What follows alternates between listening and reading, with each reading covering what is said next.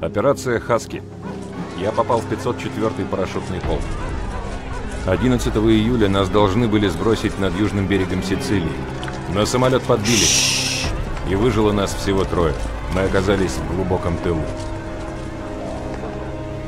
Мы были обречены, но нас спасли бойцы сопротивления.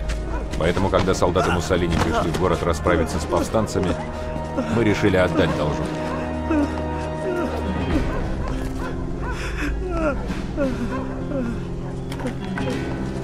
Se nessuno parla, quest'uomo morirà.